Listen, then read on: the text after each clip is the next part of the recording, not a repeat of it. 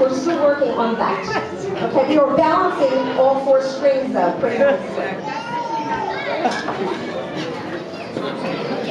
much.